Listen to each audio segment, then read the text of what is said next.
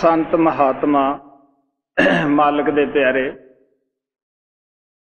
ਕੋਈ ਸਮਾਜ ਬਣਾਉਣ ਵਾਸਤੇ ਨਹੀਂ ਆਉਂਦੇ ਆਉਂਦੇਗੇ ਨਾ ਪਹਿਲਾਂ ਬਣੀਆਂ ਕਿਸੇ ਦੀਆਂ, ਤੋੜਨ ਵਾਸਤੇ ਆਉਂਦੇ ਹਨ।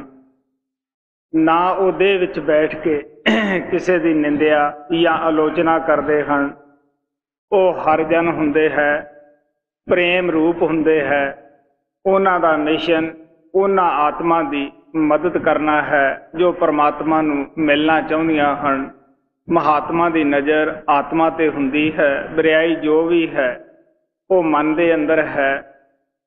ਜਿਸ ਤਰ੍ਹਾਂ ਧੋਬੀ ਨੂੰ ਆਪਣੇ ਕਰਤੱਵ ਦੇ ਉੱਤੇ ਮਾਣ ਹੁੰਦਾ ਹੈ, ਕਿ ਇਸ ਕੱਪੜੇ ਦੇ ਅੰਦਰ ਜੋ ਮੈਲ ਦੇ ਥੱਲੇ ਸਫੈਦੀ ਹੈ, ਮੈਂ ਇਸ ਨੂੰ ਜ਼ਰੂਰ ਕੱਢ ਲਵਾਂਗਾ ਇਸੇ ਤਰ੍ਹਾਂ ਸੰਤਾਂ ਨੂੰ ਗਿਆਨ ਹੁੰਦਾ ਹੈ ਕਿ ਪਾਪਾਂ ਦੀ ਦਲਦਲ ਦੇ ਥੱਲੇ ਸ਼ੁੱਧ ਆਤਮਾ ਛਪੀ ਹੋਈ ਹੈ, ਜਦ ਅਸੀਂ ਇਸ ਦੇ ਅੰਦਰ ਨਾਮ ਰੱਖਾਂਗੇ, ਨਾਮ ਨਾਲ ਜੋੜਾਂਗੇ, ਇਹ ਆਤਮਾ ਸਾਫ਼, ਪਿਓਰ ਔਰ ਪਵਿੱਤਰ ਹੋ ਜਾਏਗੀ। ਮਹਾਤਮਾ ਸਾਨੂੰ ਦੱਸਦੇ ਹੈ ਕਿ ਸਾਡੀ ਆਤਮਾ ਤਾਂ ਪਿਓਰ ਸੀ, ਪਵਿੱਤਰ ਸੀ, ਲੇਕਿਨ ਮਨ ਦਾ ਸਾਥ ਲੈ ਕੇ ਅਤੀ ਗੰਦੀ ਔਰ ਮੈਲੀ ਹੋ ਚੁੱਕੀ ਹੈ, ਆਪਣਾ ਘਰ ਭੁੱਲ ਗਈ ਹੈ, ਆਪਣੀ ਕੌਮ ਆਪਣੇ ਅਸਲੇ ਨੂੰ ਭੁੱਲ ਗਈ ਹੈ। ਇਹਦਾ ਕਿਹੜਾ ਘਰ ਹੈ? ਸੱਚਖੰਡ ਹੈ। ਜਿਹੜਾ ਕਦੇ ਨਾਸ ਨਹੀਂ ਹੁੰਦਾ, ਫਨਾ ਨਹੀਂ ਹੁੰਦਾਗਾ, ਉਹ ਸ਼ਾਂਤੀ ਦਾ ਦੇਸ਼ ਹੈ, ਜਿੱਥੇ ਕਿ ਕੋਈ ਮੌਤ ਜਾਂ ਪੈਦਾਇਸ਼ ਨਹੀਂ ਗਈ। ਸ਼ੁਰੂ ਦੇ ਵਿੱਚ ਆਤਮਾ ਉੱਥੇ ਸੀ ਔਰ ਜਦ ਇਸ ਮੰਡਲ ਦੇ ਉੱਤੇ ਇਹ ਆਤਮਾ ਰੂਹਾਂ ਆਈਆਂ, ਤੋਂ ਮਨ ਦਾ ਸਾਥ ਲੈ ਲਿਆ। ਮਨ ਨੇ ਅੱਗੇ ਇੰਦਰੀਆਂ ਦਾ ਸਾਥ ਲੈ ਲਿਆ। ਇੰਦਰੀਆਂ ਖੁਆਇਸ਼ਾਂ, ਭੋਗਾਂ ਦੇ ਵਸ ਹੈ। ਇਹਦੇ ਵਿੱਚ ਲਿਬੜ ਕੇ ਅਤੀ ਗੰਦੀ ਔਰ ਮੈਲੀ ਹੋ ਗਈ ਹੈ। ਆਪ ਵੀ ਇਹ ਗੰਦ ਦਾ ਰੂਪ ਹੀ ਸਮਝਣ ਲੱਗ ਗਈ ਹੈ। ਜਿਸ ਤਰ੍ਹਾਂ ਜਦ ਬਦਲਾਂ ਦੇ ਵਿੱਚੋਂ ਪਾਣੀ ਜ਼ਮੀਨ ਦੇ ਵਿੱਚ ਗਿਰਦਾ ਹੈ, ਉਹ ਉਦੋਂ ਬਿਲਕੁਲ ਸਾਫ਼, ਪਿਓਰ ਹੁੰਦਾ ਹੈ। ਲੇਕਿਨ ਜਦ ਗੰਦ ਦਾ ਸਾਥ ਲੈਂਦਾ ਹੈ, ਉਹਦੇ ਵਿੱਚੋਂ ਵੀ ਗੰਦੀ ਬਦਬੂ ਆਉਣੀ ਸ਼ੁਰੂ ਹੋ ਜਾਂਦੀ ਹੈ। ਪਾਣੀ ਵੀ ਉਹ ਇੱਕ ਗੰਦ ਦਾ ਹਿੱਸਾ ਹੀ ਆਪਣੇ ਆਪ ਨੂੰ ਸਮਝਦਾ ਹੈ। ਲੇਕਿਨ ਜਦ ਸੂਰਜ ਦੀ ਤਪਸ਼ ਉਸ ਨੂੰ ਮਿਲਦੀ ਹੈ, ਉਹ ਪਾਣੀ ਬੁਖਾਰਾਤ ਬਣ ਕੇ ਸਿੱਧਾ ਬਦਲਾਂ ਦੇ ਵਿੱਚ ਜਾ ਕੇ ਸਮਾ ਜਾਂਦਾ ਹੈ। ਫਿਰ ਪਤਾ ਲੱਗਦਾ ਹੈ ਕਿ ਗੰਦ ਕੋਈ ਹੋਰ ਚੀਜ਼ ਸੀ, ਮੈਂ ਕੋਈ ਹੋਰ ਚੀਜ਼ ਸੀ। ਇਸੇ ਤਰ੍ਹਾਂ ਇਸ ਨੂੰ ਵੀ ਜਦ ਮਹਾਤਮਾ ਸ਼ਬਦ ਨਾਮ ਦੇ ਨਾਲ ਜੋੜਦੇ ਹੈ, ਜਦ ਸ਼ਬਦ ਨਾਮ ਦੀ ਇਸ ਨੂੰ ਵੀ ਤਪਸ਼ ਮਿਲਦੀ ਹੈ, ਆਤਮਾ ਨੂੰ ਜਦ ਆਤਮਾ ਪਰਮਾਤਮਾ ਵਿੱਚ ਜਾ ਕੇ ਮਿਲ ਜਾਂਦੀ ਹੈ ਫਿਰ ਇਸ ਨੂੰ ਪਤਾ ਲੱਗਦਾ ਹੈ ਕਿ ਦੁਨੀਆ ਦੀਆਂ ਮੈਲਾਂ ਕੋਈ ਹੋਰ ਚੀਜ਼ ਸਨ। ਮੈਂ ਕੋਈ ਹੋਰ ਚੀਜ਼ ਹੈ। ਮੈਂ ਤਾਂ ਪਰਮਾਤਮਾ ਦੀ ਬੱਚੀ ਸੀ, ਪਰਮਾਤਮਾ ਦੀ ਅਨਸ ਸੀ। ਮਹਾਰਾਜ ਸਾਵਣ ਸਿੰਘ ਕਹਿੰਦੇ ਕਿ ਇਸ ਆਤਮਾ ਨੂੰ ਪਤਾ ਨਹੀਂ ਮੇਰੀ ਕਿੱਡੀ ਉੱਚੀ ਜਾਤ ਹੈ, ਮੇਰੀ ਕਿੱਡੀ ਉੱਚੀ ਕੌਮ ਹੈ। ਮੈਂ ਕਿਸ ਮਹਾਰਾਜੇ ਦੀ ਲੜਕੀ ਹੈ। ਆਪ ਕਹਿਣ ਲੱਗੇ ਕਿ ਇਸ ਨੇ ਆ ਕੇ ਭੰਗੀ ਮਨ ਦਾ ਸਾਥ ਲੈ ਲਿਆ ਹੈ।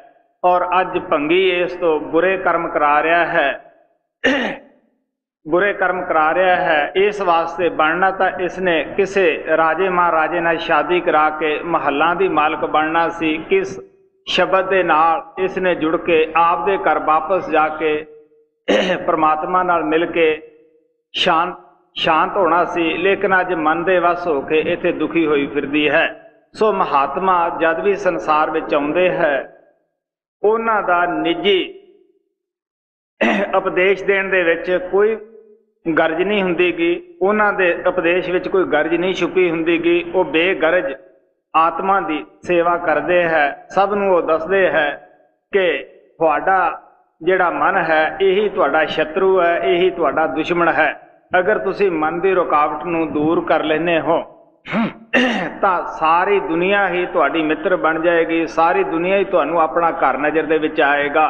ਹੁਣ ਅਸੀਂ ਦਵਾਇਤ ਦੇ ਵਿੱਚ ਫਸੇ ਹੋਏ ਆ ਤੇਰ ਮੇਰ ਦੇ ਵਿੱਚ ਫਸੇ ਹੋਏ ਹਾਂ। ਜਦੋਂ ਅਸੀਂ ਸ਼ਬਦ ਨਾਮ ਦੀ ਕਮਾਈ ਕਰਕੇ ਸ਼ਬਦ ਰੂਪ ਹੋ ਜਾਂਦੇ ਹਾਂ, ਫਿਰ ਸਾਨੂੰ ਉਹ ਇੱਕ ਪਰਮਾਤਮਾ ਸਭ ਦੇ ਵਿੱਚ ਨਜ਼ਰ ਆਉਂਦਾ ਹੈ। ਫਿਰ ਪਤਾ ਲੱਗਦਾ ਹੈ ਕਿ ਦੁਨੀਆ ਬੜੀ ਹੀ ਗਲਤੀ ਕਰ ਰਹੀ ਹੈ, ਜਿਹੜੀ ਅਲੱਗ-ਅਲੱਗ ਉਸ ਪਰਮਾਤਮਾ ਨੂੰ ਖੋਜ ਰਹੀ ਹੈ। ਕਿਉਂਕਿ ਜਦੋਂ ਅਸੀਂ ਅਭਿਆਸ ਕਰਨਾ ਸ਼ੁਰੂ ਕਰਦੇ ਹਾਂ, ਕਿਸੇ ਆਤਮਾ ਦੇ ਅੰਦਰ ਤੜਪ ਪੈਦਾ ਹੁੰਦੀ ਹੈ, ਫਿਰ ਸਾਡਾ ਜਿਹੜਾ ਜਾਨੀ ਦੁਸ਼ਮਣ ਮਨ ਹੈ, ਇਹ ਸਾਨੂੰ ਅਜੀਬ ਕਿਸਮ ਦੇ ਅਭਿਆਸਾਂ ਵਿੱਚ ਫਸਾ ਦਿੰਦਾ ਹੈ। ਕਦੇ ਅਸੀਂ ਤੀਰਥ ਯਾਤਰਾ ਨੂੰ ਤੁਰ ਪੈਨੇ ਹਾਂ, ਕਦੇ ਅਸੀਂ ਪੜ ਪੜਾਈ 'ਚ ਉਸ ਪਰਮਾਤਮਾ ਨੂੰ ਲੱਭਦੇ ਹਾਂ, ਕਦੇ ਅਸੀਂ ਪੁੰਨ ਦਾਨ ਕਰਕੇ ਉਸ ਪਰਮਾਤਮਾ ਨੂੰ ਲੱਭਦੇ ਹਾਂ, ਕਦੇ ਜਪ, ਤਪ, ਪੂਜਾ ਪਾਠ ਕਰਕੇ ਉਸ ਪਰਮਾਤਮਾ ਨੂੰ ਲੱਭਦੇ ਹਾਂ। ਲੇਕਿਨ ਜਿੰਨਾ ਮਹਾਤਮਾ ਦਾ ਜਾਤੀ ਤਜਰਬਾ ਹੈ, ਉਹ ਸਾਨੂੰ ਦੱਸਦੇ ਹੈ ਕਿ ਜਿੰਨਾ ਮਰਜ਼ੀ ਤੁਸੀਂ ਜਪ ਤਪ ਕਰ ਲਓ, ਪੂਜਾ ਪਾਠ ਕਰ ਲਓ, ਜੋ ਮਰਜ਼ੀ ਤੁਸੀਂ ਕਰ ਲਓ, ਇਹਨਾਂ ਸਾਧਨਾ ਦੇ ਨਾਲ ਤੁਹਾਨੂੰ ਪਰਮਾਤਮਾ ਨਹੀਂ ਮਿਲਦਾਗਾ। ਕਿਉਂਕਿ ਪਰਮਾਤਮਾ ਤਾਂ ਤੁਹਾਡੇ ਅੰਦਰ ਹੈ, ਇਹਨਾਂ ਕਰਮਾਂ ਨਾਲ ਪਰਮਾਤਮਾ ਦਾ ਕੋਈ ਲਿੰਕ ਨਹੀਂ ਹੁੰਦਾਗਾ, ਕੋਈ ਇਹਨਾਂ ਦੇ ਨਾਲ ਉਸ ਦਾ ਜੋੜ ਨਹੀਂ ਹੁੰਦਾਗਾ। ਇਸ ਵਾਸਤੇ ਸਾਨੂੰ ਮਹਾਤਮਾ ਦੱਸਦੇ ਹੈ ਕਿ ਤੁਸੀਂ ਪਰਮਾਤਮਾ ਨੂੰ ਮਿਲਣਾ ਹੈ ਤਾਂ ਉਹ ਕਹਿੰਦੇ ਅਸੀਂ ਇਹ ਸਾਰੇ ਕਰਮ ਕਰਕੇ ਦੇਖੇ ਹੋਏ ਹੈ। ਗੁਰੂ ਅਰਜਨ ਦੇਵ ਜੀ ਮਹਾਰਾਜ ਆਪਣੀ ਪਿਛਲੀ ਹਿਸਟਰੀ ਦੱਸਦੇ ਹੈ, ਪਾਠ ਪੜਿਓ ਅਰਬੇਦ ਵਿਚਾਰਿਓ, ਨਿਵਲ ਭੋਇੰਗਮ ਸਾਧੇ, ਪੰਜ ਜਨਾ ਸੋ ਸੰਗ ਨ ਛੁਟਕੇ। ਐ ਬੁੱਧ ਐ ਬਾਦੇ ਪਿਆਰੇ, ਇਨ ਵਿਦ ਮਿਲਨ ਨ ਜਾਈ, ਮੈਂ ਕੀਏ ਕਰਮ ਅਨੇਕਾਂ। ਹਾਰ ਪਰਿਆ ਸੁਆਮੀ ਕੇ ਦੁਆਰੇ ਦੀਜੈ ਬੁੱਧ ਬਵੇਕਾ। ਆਪ ਕਹਿਣ ਲੱਗੇ, ਅਸੀਂ ਪਾਠ ਵੀ ਕੀਤਾ, ਵੇਦ ਵੀ ਵਿਚਾਰੇ, ਚਾਰੇ ਵੇਦਾਂ ਦਾ ਅਧਿਐਨ ਕੀਤਾ 27 ਸਿਮਰਤੀਆਂ ਔਰ ਖਟ ਸ਼ਾਸਤਰ ਸਭ ਕੁਝ ਪੜ੍ਹ ਕੇ ਦੇਖਿਆ। ਲੇਕਿਨ ਮਨ ਨੂੰ ਸ਼ਾਂਤ ਨਾ ਆਈ, ਬਲਕਿ ਹੋਰ ਹੰਕਾਰ ਪੈਦਾ ਹੋ ਗਿਆ। ਗੁਰੂ ਨਾਨਕ ਦੇਵ ਜੀ ਮਹਾਰਾਜ ਕਹਿੰਦੇ ਹੈ ਪੜਿਆ ਮੂਰਖ ਆਖੀਐ, ਜਿਸ ਲੱਭ ਲੋਭ ਹੰਕਾਰਾ। ਕਹਿਣ ਲੱਗੇ, ਜਿਹਦੇ ਅੰਦਰ ਲੋਭ ਹੈ, ਹੰਕਾਰ ਹੈ। ਕਹਿਣ ਲੱਗੇ ਉਸ ਨੂੰ ਪੜਿਆ ਨੂੰ ਮੂਰਖ ਜੈਸੇ ਤੁਸੀਂ ਸਮਝੋ। ਕਿਉਂਕਿ ਮਹਾਤਮਾ ਜੋ ਕੋ ਸਾਨੂੰ ਦੱਸਦੇ ਆ, ਉਹ ਕਹਿੰਦੇ ਆ, ਕਾਮ, ਕ੍ਰੋਧ, ਲੋਭ, ਮੋਹ ਦੀ ਜਬ ਲਗ ਘਟ ਮੈਂ ਖਾਨ, ਕਹਾਂ ਪੰਡਤ ਕਹ ਮੂਰਖਾ, ਦੋਨੇ ਇੱਕ ਸਮਾਨ। ਕਬੀਰ ਸਾਹਿਬ ਕਹਿੰਦੇ ਆ, ਜਿਨ੍ਹਾਂ ਦੇ ਹਿਰਦੇ ਕਾਮ ਨਾਲ, ਕ੍ਰੋਧ ਨਾਲ ਔਰ ਪ੍ਰਾਈ ਜਲਨ ਦੇ ਨਾਲ ਸੜ ਰਹੇ ਹੈ, ਉਹਨਾਂ ਦਾ ਪੜਿਆ ਉਹ ਪੰਡਤ ਵੀ ਉਹੋ ਜਿਹਾ ਹੈ, ਇੱਕ ਇਨਸਾਨ ਗ੍ਰਸਤੀ ਵੀ ਉਹੋ ਜਿਹਾ ਹੈ। ਸੋ ਇਸ ਵਾਸਤੇ ਕਿਉਂਕਿ ਕਾਮ ਔਰ ਨਾਮ ਦੀ ਦੁਸ਼ਮਣੀ ਹੈ, ਕਾਮ ਦੀ ਗੁਰਾਵਟ ਥੱਲੇ ਨੂੰ ਹੈ, ਆਤਮਾ ਦੀ ਚੜਾਈ ਉੱਪਰ ਨੂੰ ਹੈ। ਕਾਮੀ ਕ੍ਰੋਧੀ ਲਾਲਚੀ ਕਬੀਰ ਸਾਹਿਬ ਕਹਿੰਦੇ ਆ, ਭਗਤੀ ਕਰ ਹੀ ਨਹੀਂ ਸਕਦਾਗਾ। ਇਸ ਵਾਸਤੇ ਸਾਡਾ ਜਿਹੜਾ ਜਾਨੀ ਦੁਸ਼ਮਣ ਹੈ, ਇਹ ਸਾਨੂੰ ਮਨ ਅਨੇਕ ਕਿਸਮ ਦੇ ਅਭਿਆਸਾਂ ਦੇ ਵਿੱਚ ਫਸਾ ਦਿੰਦਾ ਹੈ। ਅਸੀਂ ਸ਼ੁਰਤ ਸ਼ਬਦ ਤੋਂ ਦੂਰ ਚਲੇ ਜਾਂਦੇ ਹੈ। ਜਿਸ ਅਭਿਆਸ ਨਾਲ ਪ੍ਰਮਾਤਮਾ ਮਿਲਣਾ ਸੀਗਾ, ਉਸ ਦੀ ਤਰਫ ਅਸੀਂ ਆਉਂਦੇ ਨਹੀਂ ਗਏ ਮਨ ਦੇ ਮੁਤਲਕ ਅਸੀਂ ਕਦੇ ਨਹੀਂ ਸੋਚਦੇਗੇ ਕਿ ਸਾਡਾ ਮਨ ਸਾਥੋਂ ਇਹ ਕੁਝ ਕਰਾ ਰਿਹਾ ਹੈ। ਸਵਾਮੀ ਜੀ ਮਹਾਰਾਜ ਕਹਿੰਦੇ ਹੈ ਕਾਲ ਨੇ ਅਜਬ ਜਗਤ ਪਰਮਾਇਆ ਮੈਂ ਕਿਆ ਕਿਆ ਕਹੂੰ ਵਖਾਨ, ਜੋ ਸਾਧਨ ਸਨ ਪਿਛਲੇ ਯੁਗ ਕੇ, ਸੋ ਕਲ ਯੁਗ ਮੇ ਕੀਏ ਪ੍ਰਮਾਣ। ਜਪ ਤਪ, ਵਰਤ ਸੰਜਮ ਇਹ ਧੋਖੇ, ਪੰਜ ਅਗਨ ਮੇ ਜਲੇ ਨਿਧਾਨ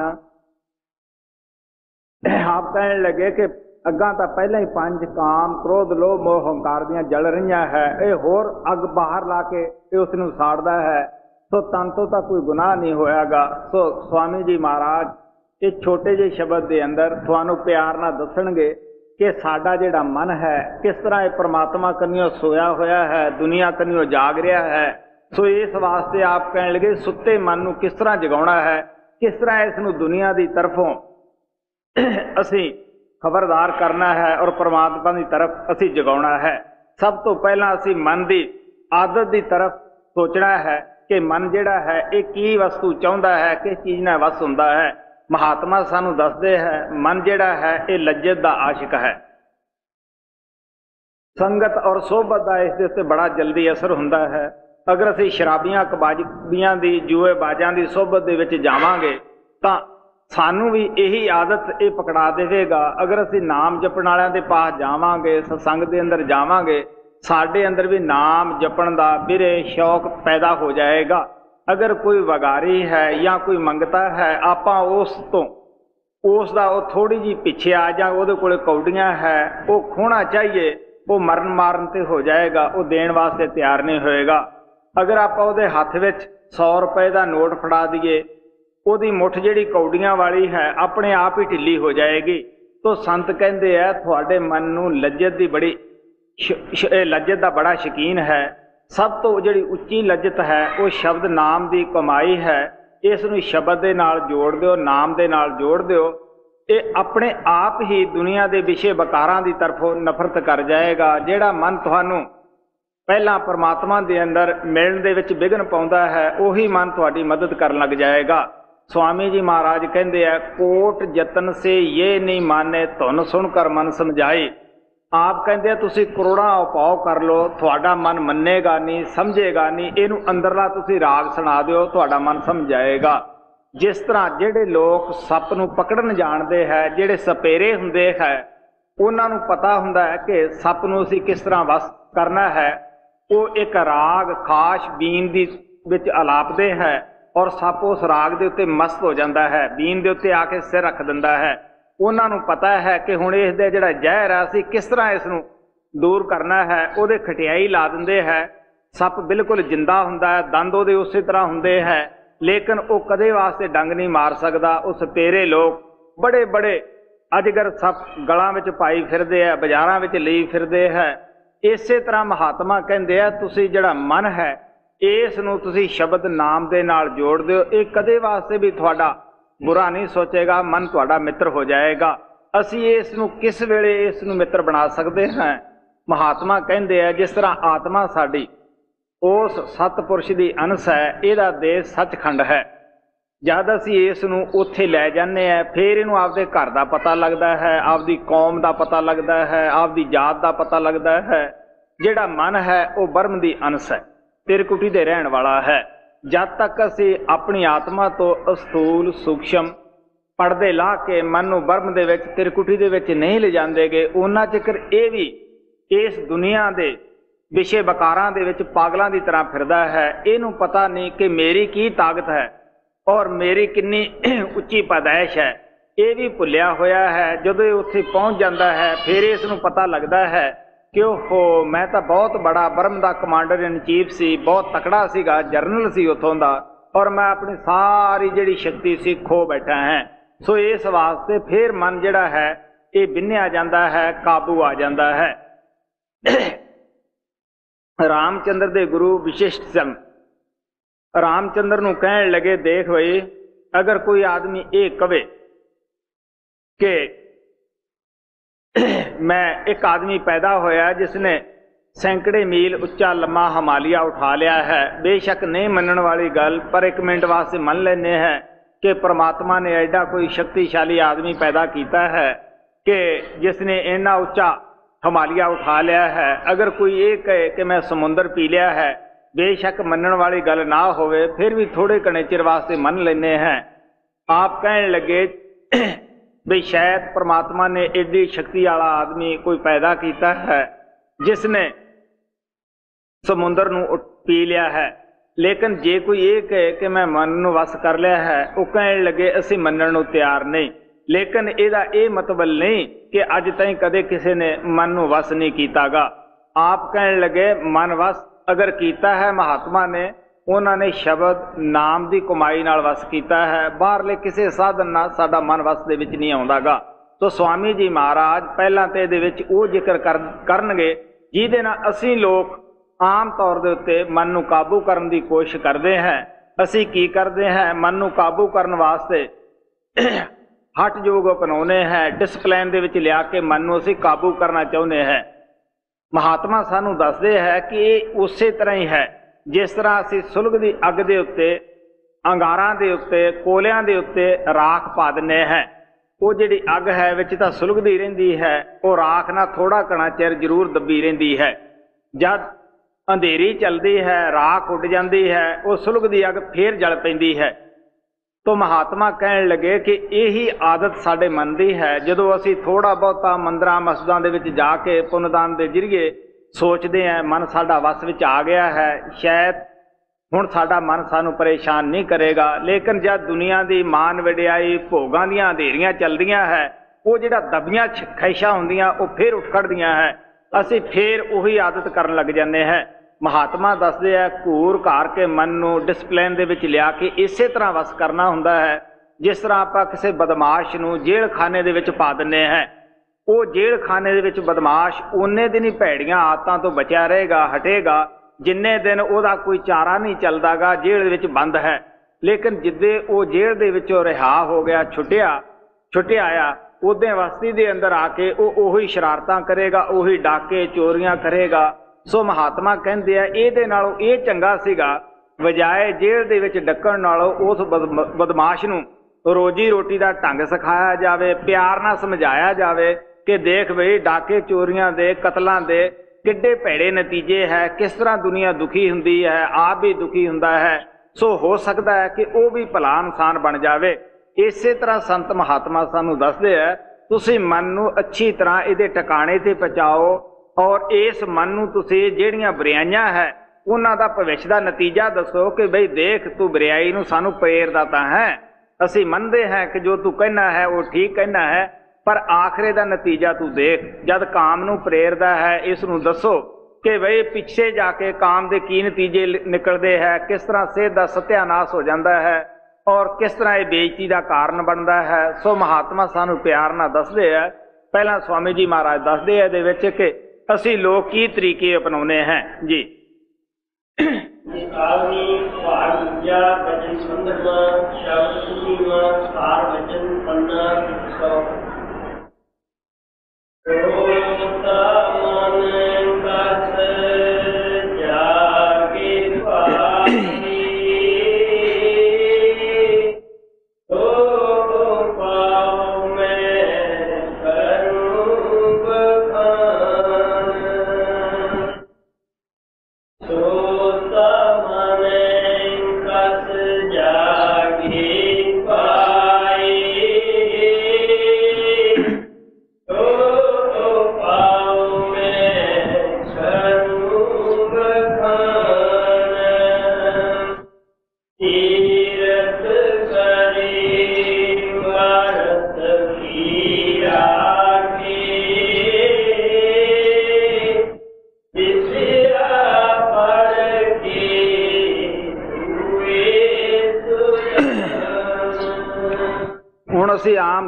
ਤੌਰ ਕੀ ਕਰਦੇ ਹੈ? ਪੈਸੇ ਜੋੜ ਲੈਨੇ ਹੈ। ਸਾਲ ਪਹਿਲੇ ਖਿਆਲ ਬਣਾ ਲੈਨੇ ਹਾਂ, ਜਦ ਪੈਸਾ ਜੋੜਦੇ ਹੈ ਕਿ ਇਸ ਦਫਾ ਪਰਿਵਾਰ ਨੂੰ ਲੈ ਕੇ ਵੀ ਆਪਾਂ ਤੀਰਥਾਂ ਦੇ ਉੱਤੇ ਇਸ਼ਨਾਨ ਕਰਨ ਵਾਸਤੇ ਜਾਵਾਂਗੇ ਜਾਂ ਘਰਾਂ ਦੇ ਅੰਦਰ ਅਸੀਂ ਕੀ ਕਰਦੇ ਹਾਂ? ਵਰਤ ਵਗੈਰਾ ਰੱਖਣੇ ਸ਼ੁਰੂ ਕਰਦੇ ਹਾਂ। ਇਹ ਜਿਤਨੇ ਵੀ ਸਾਧਨ ਸਨ, ਮਹਾਤਮਾ ਨੇ ਇਹ ਕਿਉਂ ਬਣਾਏ? ਸਿਰਫ ਸਾਨੂੰ ਸਮਝਾਉਣ ਵਾਸਤੇ ਕਿ ਨਹਾਉਣਾ ਕਿਉਂ ਜ਼ਰੂਰੀ ਹੈ? ਉਹਦੇ ਨਾਲ ਸਾਡੀ ਸਿਹਤ ਅੱਛੀ ਬਣ ਜਾਂਦੀ ਹੈ। ਲੇਕਿਨ ਸਾਨੂੰ ਉਹਨਾਂ ਨੇ ਇਹ ਵੀ ਦੱਸ ਪਾਈ ਕਿ ਜਿਸ ਤੀਰਥ ਦੇ ਉੱਤੇ ਨਹਾਉਣ ਨਾਲ ਤੁਹਾਡੀ ਜਨਮ ਜਨਮਾਤਰਾਂ ਦੀ ਮੈਲ ਲੱਥੇਗੀ, ਤੁਹਾਡੀ ਆਤਮਾ ਤੰਦਰੁਸਤ ਹੋਏਗੀ ਇਸ ਨੂੰ ਬਲ ਮਿਲੇਗਾ, ਉਹ ਤੀਰਥ ਤੁਹਾਡੇ ਅੰਦਰ ਹੈ। ਕਬੀਰ ਸਾਹਿਬ ਉਸ ਨੂੰ ਪ੍ਰਾਗ ਕਹਿੰਦੇ ਹੈ, ਜਿੱਥੇ ਤਿੰਨੇ ਨਦੀਆਂ ਗੰਗਾ, ਜਮਨਾ, ਸਰਸਵਤੀ ਮਿਲਦੀਆਂ ਹਨ ਉਸ ਨੂੰ ਉਹ ਪ੍ਰਾਗ ਕਹਿੰਦੇ ਹੈ, ਰਿਖੀ ਮੁਨੀ ਸਾਰੇ ਹੀ। ਗੁਰੂ ਨਾਨਕ ਦੇਵ ਜੀ ਉਸ ਨੂੰ ਸੱਚਾ ਅੰਮ੍ਰਿਤਸਰ ਕਰਕੇ ਬਿਆਨ ਕਰਦੇ ਹੈ। ਆਪ ਕਹਿੰਦੇ, ਸਾਚਾ ਅੰਮ੍ਰਿਤਸਰ ਕਾਇਆ ਮਾਹੀ, ਮਨ ਪੀਵਾ ਭਾਏ ਸੁਪਾਏ ਅਗਰ ਤੁਸੀਂ ਆਤਮਾ ਦੀ ਮੈਲ ਨੂੰ ਲਾਉਣਾ ਹੈ, ਤਾਂ ਤੁਸੀਂ ਉਸ ਅੰਮ੍ਰਿਤਸਰ ਦੇ ਵਿੱਚ ਜਾ ਕੇ, ਪ੍ਰਾਗ ਦੇ ਵਿੱਚ ਤੁਸੀਂ ਜਾ ਕੇ ਇਸ਼ਨਾਨ ਕਰੋ। ਕਬੀਰ ਸਾਹਿਬ ਕਹਿੰਦੇ ਹੈ, ਤੀਨ ਨਦੀ ਤਿਰਕੁਟੀ ਮਾਹੇ। ਤੁਸੀਂ ਉੱਥੇ ਜਾ ਕੇ, ਅੰਦਰ ਜਾ ਕੇ ਤੁਸੀਂ ਜੁੜ ਕੇ ਦੇਖੋ, ਤੁਹਾਨੂੰ ਤਿੰਨੇ ਨਦੀਆਂ ਇਹ ਅੰਦਰ ਵੀ ਮਿਲਣਗੀਆਂ। ਈੜਾ ਪਿੰਗਲਾ, ਤੀਨ ਵਸੇ ਇਕਠਾਈ ਦੇਣੀ ਤੈ ਪ੍ਰਾਗਮਨ ਮਜਨ ਕਰੇ ਥੀ ਥਾਈ। ਕਹਿਣ ਲੱਗੇ, ਜਿੱਥੇ ਇਹ ਤਿੰਨੇ ਨਦੀਆਂ ਜਾ ਕੇ ਮਿਲਦੀਆਂ ਹੈ, ਅਗਰ ਤੁਸੀਂ ਉੱਥੇ ਅੰਦਰ ਜਾ ਕੇ ਇਸ਼ਨਾਨ ਕਰੋ, ਦਸਵੇਂ ਦਵਾਰ ਦੇ ਵਿੱਚ ਜਾ ਕੇ, ਤੁਹਾਨੂੰ ਪਤਾ ਲੱਗੇਗਾ, ਤੁਹਾਡੀ ਜਨਮਾਂ ਜਨਮਾਤਰਾਂ ਦੀ ਜਿਹੜੀ ਮੈਲ ਹੈ, ਉਹ ਲੈ ਜਾਏਗੀ। ਆਤਮਾ ਜਿਹੜੀ ਹੈ, ਇਸ ਨੂੰ ਬਲ ਮਿਲ ਜਾਏਗਾ। ਸੋ ਮਹਾਤਮਾ ਦੇ ਕਹਿਣ ਦਾ ਭਾਵ ਇਤਨਾ ਹੀ ਹੈ ਕਿ ਅਸੀਂ ਤੀਰਥ ਵਰਤ ਵਰਤ ਦਾ ਮਤਲਬ ਇਤਨਾ ਹੀ ਹੁੰਦਾ ਹੈ ਕਿ ਕੰਮ ਖਾਓ। ਅਸੀਂ ਕੀ ਕਰਦੇ ਹਾਂ? ਵਰਤ ਰੱਖ ਲੈਨੇ ਹਾਂ। ਆਮ ਅਸੀਂ ਦੇਖਦੇ ਹਾਂ, ਵਰਤ ਵਾਲੇ ਦਿਨ ਪਹਿਲੇ ਦਿਨਾਂ ਨਾਲੋਂ ਜ਼ਿਆਦਾ ਖਾਣੇ ਹੈ। ਕੰਮ ਨਹੀਂ ਖਾਂਦੇ, ਪਹਿਲਾਂ ਖਿਆਲ ਹੁੰਦਾ ਹੈ ਕਿ ਰੋਜ਼ਾ ਰੱਖਣਾ ਹੈ, ਵਰਤ ਰੱਖਣਾ ਹੈ। ਸਦੇਹਾ ਜਿਆਦੇ ਪਾਣੀ ਪੀ ਲਓ, ਦੁੱਧ ਪੀ ਲਓ, ਕਿਤੇ ਪਿਆਸ ਨਾ ਲੱਗਿਆ ਆਵੇ, ਬਗੈਰ ਲੋੜ ਤੋਂ ਪਾਣੀ ਜਾਂ ਦੁੱਧ ਪੀਨੇ ਆ ਖਾਣਾ ਕਿਤੇ ਭੁੱਖ ਨਾ ਲੱਗਿਆ ਆਵੇ, ਦਿਨੇ ਵੱਧ ਤੋਂ ਵੱਧ ਖਾ ਲੈਨੇ ਹੈ। ਤੁਸੀਂ ਦੇਖ ਲਓ, ਰੋਜ਼ਾ ਰੱਖ ਕੇ ਅਸੀਂ ਦੁੱਗਣਾ ਖਾ ਜਾਂਦੇ ਹੈ। ਲੇਕਿਨ ਮਹਾਤਮਾ ਦਾ ਮਤਲਬ ਹੈ ਤੁਸੀਂ ਸਾਰੀ ਦਿਨ ਜ਼ਿੰਦਗੀ ਦਾ ਰੋਜ਼ਾ ਰੱਖੋ, ਸਾਰੀ ਜ਼ਿੰਦਗੀ ਦਾ ਵਰਤ ਰੱਖੋ, ਸੰਜਮ ਦੇ ਵਿੱਚ ਖਾਣਾ ਖਾਓ, ਜਿੰਨਾ ਜ਼ਰੂਰਤ ਆ ਉਹਨਾਂ ਖਾਓ। ਜੀਵਨ ਜੋਗਰਾ ਤੁਸੀਂ ਖਾਓ, ਨਾ ਕਿ ਤੁਸੀਂ ਪੇਟ ਭਰ ਕੇ, ਮਹਾਰਾਜ ਸਾਵਣ ਸਿੰਘ ਕਹਿੰਦੇ ਹੁੰਦੇ ਸੀਗੇ, ਇਹ ਕਿੱਧਰਲੀ ਦੁਨਿਆਈ ਹੈ ਕਿ ਤੁਸੀਂ ਮਗਰੋਂ ਚੂਰਨ ਖਾ ਕੇ ਉਸ ਨੂੰ ਹਜਮ ਕਰੋ। ਸੋ ਮਹਾਤਮਾ ਸਾਨੂੰ ਪਿਆਰ ਦੇ ਨਾਲ ਕਹਿੰਦੇ ਹੈ, ਬਾਬਾ ਬਿਸ਼ਨ ਦਾਸ ਇੱਕ ਬੜੀ ਦਿਲਚਸਪ ਕਹਾਣੀ ਸੁਣਾਉਂਦੇ ਹੁੰਦੇ ਸੀਗੇ। ਉਹਨਾਂ ਨੇ ਦੋ ਪੰਡਤਾਂ ਨੂੰ ਨਿਉਂਦਾ ਦੇ ਦਿੱਤਾ ਕਿ ਪੰਡਤ ਜੀ, ਸਾਡੇ ਸਰਾਧ ਹੈ। ਤੁਸੀਂ ਆਇਓ। ਪੰਡਤ ਜੀ ਚਲੇ ਗਏ, ਖੀਰ ਬਣਾਈ ਸੀ, ਅੰਨ ਪਾਣੀ ਅੱਛਾ ਬਣਾਇਆ ਸੀ, ਕਿਉਂਕਿ ਗ੍ਰਸਤੀ ਲੋਕਾਂ ਨੂੰ ਬੜਾ ਹੀ ਸ਼ਰਧਾ ਹੁੰਦੀ ਹੈ ਵੀ ਇਹ ਵੱਧ ਖਾਣ ਅੱਛਾ ਹੋਏਗਾ। ਉਹਨਾਂ ਨੇ ਇਤਨਾ ਖਾ ਲਿਆ ਕਿ ਆਪਣੇ ਜੋੜੇ ਵੀ ਉਹ ਪਛਾਣ ਨਾ ਸਕਣ, ਪੇਟ ਅੱਗੇ ਵੱਧ ਗਏ। ਉਹ ਜੋੜੇ ਨਾ ਪਛਾਣ ਸਕਣ ਕਿ ਮੇਰੇ ਹੈ ਜਾਂ ਤੇਰੇ ਹੈ, ਪਿੱਛੇ ਹਟ ਕੇ ਦੂਜਾ ਦੂਜੇ ਨੂੰ ਪੁੱਛਦਾ ਹੈ, ਕਿਉਂ ਬਈ ਇਹ ਮੇਰੇ ਹੀ ਜੋੜੇ ਹੈ? ਉਹ ਪੁੱਛ ਕੇ ਕਹਿਣ ਲੱਗਾ ਕਿ ਇਹ ਮੇਰੇ ਹੀ ਹੈ। ਉਹ ਬੜੇ ਦੁਖੀ ਹੋਏ ਤੁਰੇ ਜਾਂਦੇ ਸੀਗੇ। ਕਿਸੇ ਨੇ ਦੇਖਿਆ ਕਿ ਮਹਾਰਾਜ ਜੀ, ਤੁਸੀਂ ਇਤਨੇ ਦੁਖੀ ਹੋ, ਚੂਰਨ ਲੈ ਲਓ। ਉਹ ਕਹਿਣ ਲੱਗੇ, ਅਗਰ ਚੂਰਨ ਪਾਉਣ ਦੀ ਜਗ੍ਹਾ ਹੁੰਦੀ ਤਾਂ ਖੀਰ ਹੋਰ ਨਾ ਪਾ ਲੈਂਦੇ। ਸੋ ਇਹ ਹਾਲਤ ਸਾਡੀ ਹੈ। ਮੇਰਾ ਖੁਦ ਇਹ ਅਜਮਾਇਆ ਹੋਇਆ ਹੈ ਮੇਰੇ ਪੜੋਸ ਦੇ ਵਿੱਚ ਇੱਕ ਬਾਹਮਣ ਰਹਿੰਦਾ ਹੁੰਦਾ ਸੀਗਾ, ਉਸ ਦੀ ਬੜੀ ਸੇਵਾ ਕੀਤੀ, ਸਾਡੇ ਖੁਦ ਆਸ਼ਰਮ ਦੇ ਅੰਦਰ ਹੀ, ਦੇਵ ਕਰਨ ਉਸ ਦਾ ਨਾਮ ਸੀਗਾ। ਲੇਕਿਨ ਉਸਨੇ ਇਤਨਾ ਖਾ ਲਿਆ ਕਿ ਉਹ ਸਾਡੇ ਆਸ਼ਰਮ ਚੋਂ ਵੀ ਬਾਹਰ ਨਾ ਨਿਕਲ ਸਕਿਆ। ਬਾਹਾਂ ਉਹਦੀਆਂ ਇਸ ਤਰ੍ਹਾਂ ਹੋ ਗਈਆਂ, ਲੱਤਾਂ ਚੌੜੀਆਂ ਹੋ ਗਈਆਂ, ਕਿਉਂਕਿ ਮੈਂ ਪਹਿਲਾ ਹੀ ਬੰਦਾ ਹਾਂ ਜਿਨੇ ਰਾਜਸਥਾਨ ਦੇ ਅੰਦਰ ਛੂਤ ਛਾਤ ਨੂੰ ਦੂਰ ਕਰਨ ਦੀ ਖਾਤਰ ਦੁਨੀਆ ਨੂੰ ਸਮਝਾਉਣਾ ਸ਼ੁਰੂ ਕੀਤਾ। ਸ਼ੁਰੂ ਸ਼ੁਰੂ ਦੇ ਵਿੱਚ ਪੰਡਤ ਲੋਕਾਂ ਨੇ ਕਾਫੀ ਆ ਕੇ ਬਹਿਸ ਮੁਆਸੇ ਕੀਤੇ। ਇੱਕ ਦਿਨ ਉਹਨਾਂ ਨੇ ਪੰਜ ਛੇ ਪੰਡਤ ਅੱਛੇ ਮਿਲ ਕੇ ਮੇਰੇ ਪਾਸ ਆਏ। ਉਹ ਗੱਲਾਂ ਕਰਨ ਲੱਗੇ। ਮੈਂ ਕਿਹਾ, ਹਾਂ ਜੀ, ਜੋ ਤੁਸੀਂ ਕਹੋ, ਅਸੀਂ ਮੰਨਣ ਨੂੰ ਤਿਆਰ ਹਾਂ। ਪਰ ਮੈਂ ਕਿਹਾ, ਦੇਵਕਰਨ ਜੀ, ਤੁਸੀਂ ਉਦੋਂ ਵਾਲੀ ਹਾਲਤ ਤਾਂ ਦੱਸੋ, ਜਿਹੜੀ ਆਸ਼ਰਮ ਦੇ ਅੰਦਰ ਤੁਹਾਡੇ ਨਾਲ ਖੀਰ ਔਰ ਪ੍ਰਸ਼ਾਦ ਖਾ ਕੇ ਹੋਈ ਸੀ। ਪੰਡਤ ਜੀ ਚੁੱਪ ਹੋ ਗਏ। ਮੈਂ ਕਿਹਾ, ਤੁਸੀਂ ਇਹ ਦੇਖੋ ਕਿ ਜਿਸ ਆਦਮੀ ਨੂੰ ਖਾਣਾ ਖਾਣ ਦਾ ਹੀ ਪਤਾ ਨਹੀਂਗਾ ਉਹ ਆਦਮੀ ਕਿਸੇ ਨੂੰ ਗਿਆਨ ਕੀ ਦੇ ਸਕਦਾ ਹੈ? ਬਾਬਾ ਬਿਸ਼ਨ ਦਾਸ ਦਿਲਚਸਪ ਗੱਲ ਕਰਦੇ ਹੁੰਦੇ ਸੀ ਇੱਕ ਪਟਵਾਰੀ ਦੀ। ਉਹ ਕਹਿਣ ਲੱਗੇ ਕਿ ਉਹਦੀ ਖੁਰਾਕ ਬਹੁਤ ਜ਼ਿਆਦਾ ਸੀ, ਪਤਾ ਨਹੀਂ ਸੀਗਾ। ਉਹ ਲੜਕੀ ਦੇ ਪਾਸ ਗਿਆ, ਲੜਕੀ ਨੂੰ ਪਤਾ ਹੀ ਸੀਗਾ ਬਾਪ ਦੀ ਖੁਰਾਕ ਦਾ। ਉਹ ਕਹਿਣ ਲੱਗੀ, ਪਿਤਾ ਜੀ, ਕਿਤਨੇ ਕੁ ਫੁਲਕੇ ਬਣਾ ਲਾਂ? ਉਹ ਕਹਿਣ ਲੱਗਾ, ਦੇਖ ਲੈ, ਕੋਈ ਭੁੱਖ ਭੱਖ ਤਾਂ ਖਾਸ ਹੈ ਨਹੀਂਗੀ ਜਿੰਨੇ ਤੇਰੀ ਮਰਜ਼ੀ ਬਣਾ ਲੈ। ਕਹਿਣ ਲੱਗੀ 40 ਕੁ ਫੁਲਕੇ ਬਣਾ ਲਵਾਂ? ਉਹ ਕਹਿੰਦਾ, ਹਾਂ, ਬਣਾ ਲੈ 40 ਕੁ ਫੁਲਕੇ। ਪਰ ਉਹਨੂੰ ਪਤਾ ਸੀ ਪਿਤਾ ਦੀ ਖੁਰਾਕ ਦਾ। ਉਸਨੇ 60 70 ਫੁਲਕੇ ਬਣਾ ਲਏ 40 ਫੁਲਕੇ ਖਾ ਕੇ ਕਹਿਣ ਲੱਗਿਆ ਕਿ ਚੱਪਾ ਕੁ ਹੋਰ ਲੈ ਆ। ਉਹ ਚੱਪਾ ਕ ਲਿਆਂਦਾ, ਕਹਿਣ ਲੱਗਾ ਚੱਪੇ ਸਵਾਦ ਬੜੇ ਹੈ 15 ਕ ਰੋਟੀਆਂ ਦੇ ਚੱਪੇ ਹੀ ਬਣਾ ਲਾ ਕੁੜਗੇ ਉਹ ਹੋਰ ਖਾ ਗਿਆ 15 ਲੜਕੀ ਪਰੇਸ਼ਾਨ ਹੋ ਕੇ ਕਹਿਣ ਲੱਗੀ, ਪਿਤਾ ਜੀ ਇਹ ਜੀ ਤੁਸੀਂ ਲੋਕਾਂ ਦੀ ਜ਼ਮੀਨ ਜਾ ਕੇ ਕੱਛਦੇ ਹੋਗੇ ਤੁਹਾਨੂੰ ਆਪਣਾ ਪੇਟ ਹੀ ਕੱਛਣਾ ਨਹੀਂ ਆਉਂਦਾਗਾ। ਸੋ ਮਹਾਤਮਾ ਸਾਨੂੰ ਪਿਆਰ ਨਾਲ ਸਮਝਾਉਂਦੇ ਹੈ ਕਿ ਅਸੀਂ ਵਰਤ ਰੱਖਦੇ ਹਾਂ, ਲੇਕਿਨ ਵਰਤ ਦੀ ਮਹਾਨਤਾ ਨਹੀਂ ਸਮਝਦੇਗੇ ਥੋੜੇ ਦਿਨਾਂ ਦਾ ਰੱਖਦੇ ਲੋਕ ਰੋਜਾ ਆਸ਼ਿਕ ਉਮਰ ਭਰ ਸਿਦਕ ਨਿਭਾਉਂਦੇ ਹੈ। ਜਿਹੜੇ ਮਾਲਕ ਦੇ ਪਿਆਰੇ ਹੈ, ਉਹ ਜ਼ਿੰਦਗੀ ਭਰ ਉਨਾ ਹੀ ਖਾਂਦੇ ਹੈ ਕਿ ਜਿੰਨਾ ਕਿ ਜੀਵਨ ਵਾਸਤੇ ਜ਼ਰੂਰੀ ਹੁੰਦਾ ਹੈ। ਸੋ ਮਹਾਤਮਾ ਪਿਆਰ ਦੇ ਨਾਲ ਸਾਨੂੰ ਦੱਸਦੇ ਹੈ ਕਿ ਅਸੀਂ ਤੀਰਥ ਵੀ ਕੀਤੇ, ਵਰਤ ਵੀ ਕੀਤੇ। ਆਪ ਕਹਿਣ ਲੱਗੇ, ਇਹ ਕਿਸੇ ਸਾਧਨ ਦੇ ਨਾਲ ਮਨ ਵਸ ਦੇ ਵਿੱਚ ਨਾ ਆਇਆ, ਬਲਕਿ ਹੰਕਾਰ ਪੈਦਾ ਹੋ ਗਿਆ। ਜੀ।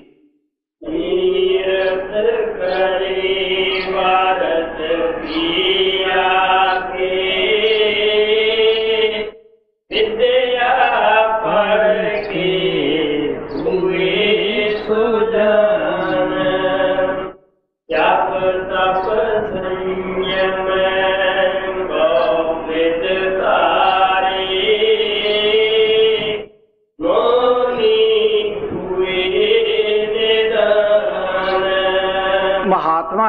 ਮਹਾਤਮਾ ਦੀ ਜ਼ਿੰਦਗੀ 'ਚ ਐਸੇ ਸਾਧਨ ਪ੍ਰੈਕਟੀਕਲ ਕੀਤੇ ਹੁੰਦੇ ਆ। ਮੈਂ ਦੱਸਦਾ ਹੁੰਦਾ ਕਿ ਮੇਰਾ ਜਿਹੜਾ ਜਪ ਸੀਗਾ 8-8 ਘੰਟੇ ਦਾ ਸੀਗਾ।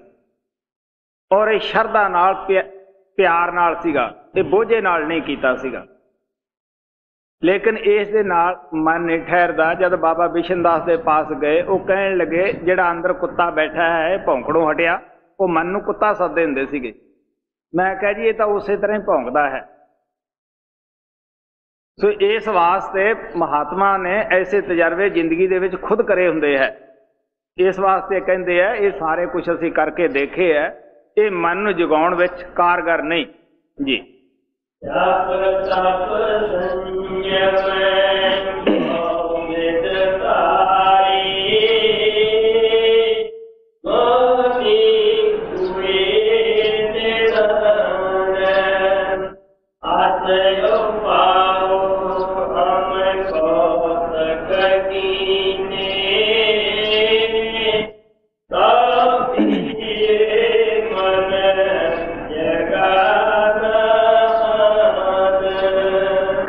ਇਹ ਜੇ ਆਪਾ ਹੋਰ ਵੀ ਬਹੁਤ ਕੀਤੇ, ਮੋਨੀ ਵੀ ਰਹੇ, ਪਾਠ ਵੀ ਕੀਤੇ ਜੋਗੀਆਂ ਦੇ ਕਰਮ ਵੀ ਕੀਤੇ, ਆਪ ਕਹਿਣ ਲਗੇ, ਲੇਕਿਨ ਇਹ ਮਨ ਹੋਰ ਸੌਂ ਗਿਆ, ਹੰਕਾਰ ਆ ਗਿਆ ਕਿ ਮੈਂ ਇੰਨਾ ਕੁਝ ਕੀਤਾ ਹੋਇਆ ਹੈ। ਮਹਾਰਾਜ ਸਾਵਣ ਸਿੰਘ ਕਹਿੰਦੇ ਹੁੰਦੇ ਸੀ, ਕੀਆ ਕਰਾਇਆ ਸਭ ਗਿਆ, ਜਬ ਆਇਆ ਹੰਕਾਰ। ਗੁਰੂ ਨਾਨਕ ਦੇਵ ਜੀ ਮਹਾਰਾਜ ਕਹਿੰਦੇ ਆ, ਤੀਰਥ ਵਰਤ ਅਰਦਾਨ ਕਰ, ਮਨ ਮੇ ਧਰੇ ਗਮਾਨ। ਨਾਨਕ ਨੇ ਫਲ ਜਾਤ ਹੈ, ਜਿਉ ਕੁੰਚਰ ਅਸ਼ਨਾਨ। ਜੀ। Hallelujah.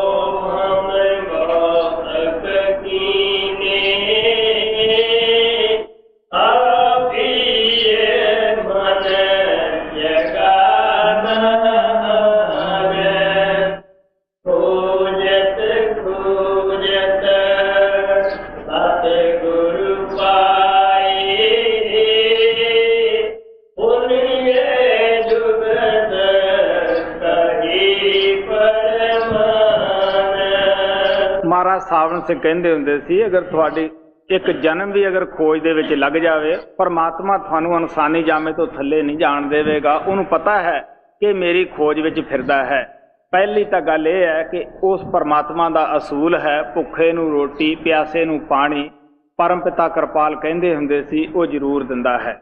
ਯਹਾਂ ਆਸਾ, ਤਹਾਂ ਵਾਸਾ, ਜਿਸ ਚੀਜ਼ ਦੀ ਅਸੀਂ ਆਸ ਕਰਦੇ ਹਾਂ, ਉਹ ਪਰਮਾਤਮਾ ਜ਼ਰੂਰ ਆਪਣਾ ਕਰਦਾ ਹੈ। ਬਹੁਤ ਸਾਰੇ ਤੁਹਾਨੂੰ ਵਾਕਿਆਤ ਐਸੇ ਮਿਲਣਗੇ ਜਿਸ ਤਰ੍ਹਾਂ ਪਲਟੂ ਸਾਹਿਬ ਨੂੰ ਅਹ, ਭੀਖਾ ਜੀ ਨੇ ਨਾਮਦਾਨ ਦਿੱਤਾ ਸੀਗਾ। ਹਾਲਾਂਕਿ ਉਹਨਾਂ ਨੂੰ ਬੜੀ ਦੇਰ ਹੋ ਗਈ ਸੀਗੀ ਇਸ ਸੰਸਾਰ ਛੱਡੇ ਨੂੰ। ਇਸੇ ਤਰ੍ਹਾਂ ਚਰਨਦਾਸ ਨੂੰ ਸੁਖਦੇਵ ਮੁਨੀ ਨੇ ਨਾਮ ਦਿੱਤਾ ਸੀਗਾ। ਉਹਨਾਂ ਨੂੰ ਬੜੇ ਵਕਤ ਹੋ ਗਿਆ ਸੀਗਾ ਇਹ ਸੰਸਾਰ ਛੱਡੇ ਨੂੰ ਕਿਉਂਕਿ ਜਦ ਕੋਈ ਉਸ ਵਕਤ ਮਹਾਤਮਾ ਐਸਾ ਨਾਮ ਦੇਣ ਵਾਲਾ ਨਾ ਹੋਵੇ ਔਰ ਐਸੀ ਆਤਮਾ ਤੜਫ ਰਹੀ ਹੋਵੇ ਜਿਹੜੀ ਸੱਚੀ ਹੋਵੇ, ਸੁੱਚੀ ਹੋਵੇ।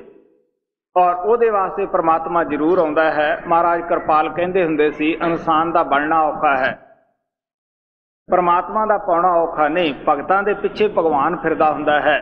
ਤੁਸੀਂ ਮਹਾਰਾਜ ਸਾਵਣ ਸਿੰਘ ਦੀ ਈਸ਼ੀ ਪੜ੍ਹ ਕੇ ਦੇਖੋ, ਉਹਨਾਂ ਦੇ ਪਾਸ ਬਾਬਾ ਜੈਮਲ ਸਿੰਘ ਜੀ ਖੁਦ ਹੀ ਉਹਨਾਂ ਦੇ ਪਿਆਰ ਦੇ ਖਿੱਚੇ ਗਏ ਸੀ। 22 ਸਾਲ ਉਹਨਾਂ ਨੇ ਸਤਿਗੁਰੂ ਦੀ ਖੋਜ ਕੀਤੀ ਸੀ। ਇਹੀ ਹਾਲਤ ਮਹਾਰਾਜ ਕਿਰਪਾਲ ਦੀ ਸੀ। ਉਹਨਾਂ ਦੇ ਅੰਦਰ ਸੱਚੀ ਖੋਜ ਸੀ ਕਿ ਮੇਰਾ ਕਿਸੇ ਅਧੂਰੇ ਗੁਰੂ ਦੇ ਨਾਲ ਵਾਸਤਾ ਨਾ ਪੈ ਜਾਵੇ। ਉਹ ਪਰਮਾਤਮਾ ਸਾਵਣ ਦੇ ਰੂਪ ਵਿੱਚ ਇਸ ਸੰਸਾਰ ਤੇ ਕੰਮ ਕਰਦਾ ਸੀਗਾ। 7 ਸਾਲ ਪਹਿਲਾਂ ਹੀ ਉਹਨਾਂ ਦੇ ਅੰਦਰ ਉਹ ਦਰਸ਼ਨ ਦੇਣ ਲੱਗ ਗਿਆ ਸੀਗਾ। ਇਸੇ ਤਰ੍ਹਾਂ ਇਹ ਗਰੀਬ ਅਜੈਬ ਵੀ ਬਚਪਣੇ ਤੋਂ, ਹਾਲਾਂਕਿ ਸੁਰਤ ਵੀ ਨਹੀਂ, ਉਸ ਵੇਲੇ ਦਾ ਗੁਰੂ ਦੀ ਖੋਜ ਵੀ ਸੀ ਕਿ ਕੋਈ ਪੂਰਾ ਗੁਰੂ ਮਿਲੇ।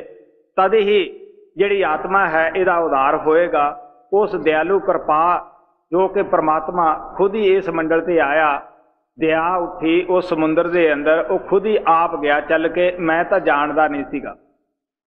ਉਹ ਪ੍ਰਮਾਤਮਾ ਬੇਇਨਸਾਫ ਨਹੀਂਗਾ ਇਸ ਵਾਸਤੇ ਆਪ ਕਹਿੰਦੇ, ਜਦੋਂ ਅਸੀਂ ਖੋਜਦੇ ਹਾਂ, ਉਹ ਪ੍ਰਮਾਤਮਾ ਦਇਆ ਕਰਕੇ ਆਪ ਜਾਂ ਤਾਂ ਉੱਥੇ ਆਏਗਾ ਜਾਂ ਤੁਹਾਨੂੰ ਪਾਸ ਖਿੱਚ ਲਏਗਾ। ਉਹਨੇ ਜੁਗਤ ਕਰੀ ਪਰਮਾਨ। ਕਿਹੜੀ ਜੁਗਤ ਕਰੀ? ਕਿ ਜਿਹੜੀ ਦੇ ਨਾਲ ਅਸੀਂ ਪ੍ਰਮਾਤਮਾ ਨੂੰ ਮਿਲ ਸਕਦੇ ਸੀਗੇ। ਕਿਉਂਕਿ ਅਸੀਂ ਜਿਹੜੀਆਂ ਜੁਗਤਾਂ ਕਮਾਉਂਦੇ ਸਾਂ, ਅਸੀਂ ਬਾਹਰ ਮੁਖੀ ਕਰਦੇ ਸਾਂ, ਜਪ, ਤਪ, ਵਰਤ, ਸੰਜਮ ਬਹੁਤ ਸਾਰਾ ਕਰਦੇ ਸਾਂ। ਲੇਕਿਨ ਸੰਤ ਮਹਾਤਮਾ ਸਾਨੂੰ ਕਹਿੰਦੇ ਹੈ ਕਿ ਉਹ ਪ੍ਰਮਾਤਮਾ ਬਾਹਰ ਨਹੀਂ, ਉਹ ਨੇੜੇ ਤੋਂ ਨੇੜੇ ਤੇਰੇ ਅੰਦਰ ਹੈ। ਕਬੀਰ ਸਾਹਿਬ ਕਹਿੰਦੇ ਆ ਵਸਤੂ ਕਹੀਂ ਢੂੰਡੇ ਕਹੀਂ, ਕਹਿ ਬਿਦ ਆਵੇ ਹਾਥ। ਕਹੇ ਕਬੀਰ, ਤਬ ਪਾਈਏ ਭੇਦੀ ਲਈਏ ਸਾਥ। ਭੇਦੀ ਲਿਆ ਸਾਥ, ਦੀਨੀ ਵਸ ਖਾਏ, ਕੋਟ ਜਨਮ ਕਾ ਪੰਥ ਸਾ ਤੇ ਪਲ ਵਿੱਚ ਪਹੁੰਚਿਆ ਆਏ। ਜਿਹੜਾ ਅਸੀਂ ਸੋਚ ਵੀ ਨਹੀਂ ਸਕਦੇ ਸੀ ਕਿ ਪ੍ਰਮਾਤਮਾ ਨੂੰ ਮਿਲ ਲਵਾਂਗੇ, ਲੇਕਿਨ ਜਦ ਭੇਦੀ ਨੂੰ ਸਾਥ ਲਿਆ, ਉਹਨੇ ਨੇੜੇ ਹੀ ਦੱਸ ਪਾ ਦਿੱਤੀ ਕਿ ਉਹ ਤਾਂ ਮਾਲਕ ਬੇਜੀ ਦੀ ਤਲਾਸ਼ ਕਰਦਾ ਹੈ, ਤੇਰੇ ਅੰਦਰ ਹੈ। ਗੁਰੂ ਰਾਮਦਾਸ ਜੀ ਮਹਾਰਾਜ ਆਪਣੀ ਹੱਡਵੀ ਹੱਡਵੀਤੀ ਲਿਖਦੇ ਹੈ, ਅੰਤਰ ਪਿਆਸ ਉੱਠੀ ਪ੍ਰਭ ਕੇਰੀ ਸੁਣ ਗੁਰ ਬਚਨ ਮਨ ਤੀਰ ਲਗਈਐ। ਆਪ ਕਹਿਣ ਲੱਗੇ, ਜਦ ਸਾਡੇ ਦਿਲ ਦੇ ਅੰਦਰ ਪ੍ਰਮਾਤਮਾ ਦੇ ਮਿਲਣ ਦੀ ਪਿਆਸ ਉੱਠੀ, ਅਸੀਂ ਜੰਗਲਾਂ, ਪਹਾੜਾਂ, ਹਰ ਜਗ੍ਹਾ ਉਸ ਪ੍ਰਮਾਤਮਾ ਨੂੰ ਖੋਜਿਆ। ਉਹ ਨਾ ਮਿਲਿਆ। ਜਦ ਅਸੀਂ ਫਿਰਦੇ ਫਿਰਦੇ ਅਮਰਦਾਸ ਦੇਵ ਜੀ ਮਹਾਰਾਜ ਦੀ ਸ਼ਰਨ ਵਿੱਚ ਗਏ, ਉਹ ਕਹਿੰਦੇ, ਭਲਿਆ ਲੋਕਾ ਜੀ ਦੀ ਤੈਨੂੰ ਤਲਾਸ਼ ਹੈ ਉਹ ਤਾਂ ਤੇਰੇ ਅੰਦਰ ਬੈਠਾ ਹੈ। ਜਦ ਇਹ ਖਿਆਲ ਆਇਆ ਕਿ ਉਹ ਜਿਹਦੀ ਅਸੀਂ ਤਲਾਸ਼ ਕਰਦੇ ਹਾਂ, ਉਹ ਅੰਦਰ ਹੈ, ਕਹਿੰਦੇ ਉਹਨਾਂ ਦਾ ਜਿਹੜਾ ਬਚਨ ਸੀ, ਉਹ ਤੀਰ ਦੀ ਤਰ੍ਹਾਂ ਖੁੱਭ ਗਿਆ। ਹਾਂ ਆਕਲ ਬਿਕਲ ਪਈ, ਗੁਰ ਦੇਖੇ ਹਾਂ ਲੋਟ ਪੋਟ ਹੋਏ ਪਈ ਆ ਜਦ ਬਾਹਰੋਂ ਖਿਆਲ ਨੂੰ ਹਟਾ ਕੇ ਅੰਦਰ ਲਗਈ, ਫਿਰ ਪਤਾ ਲੱਗਿਆ ਕਿ ਮੈਂ ਤਾਂ ਐਵੇਂ ਨੂੰ ਇਨਸਾਨ ਸਮਝਦੀ ਸਾਂ, ਇਹ ਤਾਂ ਮਨਮੋਹਣੀ ਮੂਰਤ। ਮੇਰੇ ਅੰਦਰ ਪਹਿਲਾਂ ਤੋਂ ਹੀ ਮੌਜੂਦ ਹੈ। ਸੋ ਇਸ ਵਾਸਤੇ ਹੁਣ ਨਿਰਕਤ ਫਿਰਾਂ ਸਭ ਦੇਸ ਸੰਤਰ। ਹੁਣ ਕਹਿੰਦੀ ਮੈਂ ਦੇਸ ਦਸੰਤਰਾਂ ਦੇ ਵਿੱਚ ਫਿਰਦੀ ਦਿਖਦੀ ਹੈ। ਮਨ ਬਹੁਤ ਚੌਪਈਆ ਲੇਕਿਨ ਗੁਰੂ ਜੈਸਾ ਕੋਈ ਨਜ਼ਰ ਦੇ ਵਿੱਚ ਨਹੀਂ ਆਉਂਦਾ। ਕਿਹਨੂੰ ਮੈਂ ਨਜ਼ਰ ਦੇ ਤੱਲੇ ਲਿਆਵਾਂ?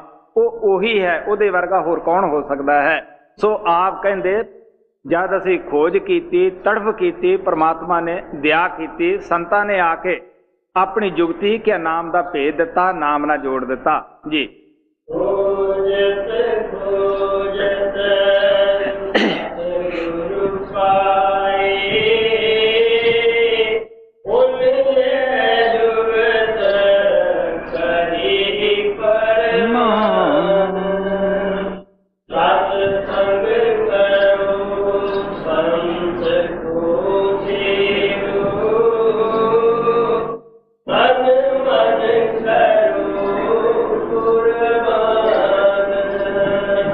ਕੁਰਬਾਨ ਕੀ ਕੀਤਾ ਦਇਆ ਕਰਕੇ ਸਾਨੂੰ ਬਾਹਰ ਮੁਖੀ ਕਿਸੇ ਸਾਧਨ ਦੇ ਵਿੱਚ ਨਹੀਂ ਫਸਾਇਆ। ਮੈਂ ਦੱਸਦਾ ਹੁੰਨਾ ਹੈ ਕਿ ਮਹਾਤਮਾ ਕਿਸੇ ਸਮਾਜ ਦੀ ਨਿੰਦਿਆ ਨਹੀਂ ਕਰਦੇ, ਸਭ ਸਮਾਜਾਂ ਦਾ ਉਹ ਆਦਰ ਕਰਦੇ ਹੈ। ਫ਼ਰਕ ਇਤਨਾ ਹੁੰਦਾ ਹੈ ਕਿ ਮਹਾਤਮਾ ਦੇ ਸੰਗਤ ਦੇ ਅੰਦਰ ਕੋਈ ਰੀਤੀ ਰਿਵਾਜ ਨਹੀਂ ਹੁੰਦਾਗਾ, ਉਹ ਪ੍ਰੈਕਟੀਕਲ ਤੇ ਜ਼ੋਰ ਦਿੰਦੇ ਹੈ। ਸੋ ਮਹਾਤਮਾ ਆ ਕੇ ਕੀ ਕਹਿੰਦੇ ਹੈ, ਕੀ ਦੱਸਿਆ ਸੇਵਕ ਨੂੰ? ਸਤ ਸੰਗ ਜ਼ਰੂਰੀ ਹੈ। ਔਰ ਜੋ ਸੰਤ ਸਤਿਗੁਰੂ ਤੁਹਾਨੂੰ ਦੱਸਦੇ ਹੈ ਇਹੀ ਉੱਤਮ ਸੇਵਾ ਹੈ, ਤੁਸੀਂ ਇਹ ਕਰੋ। ਕਿਸ ਤਰ੍ਹਾਂ ਕਰਨਾ ਹੈ, ਤਨ ਮਨ ਨੂੰ ਕੁਰਬਾਨ ਕਰ ਦਿਓ ਕਿ ਇਮਾਨਦਾਰੀ ਨਾਲ ਉਹਨਾਂ ਦਾ ਦਿੱਤਾ ਹੋਇਆ ਨਾਮ ਤੁਸੀਂ ਜਪੋ। ਫਿਰ ਦੇਖੋ ਕੀ ਬਣਦਾ ਹੈ।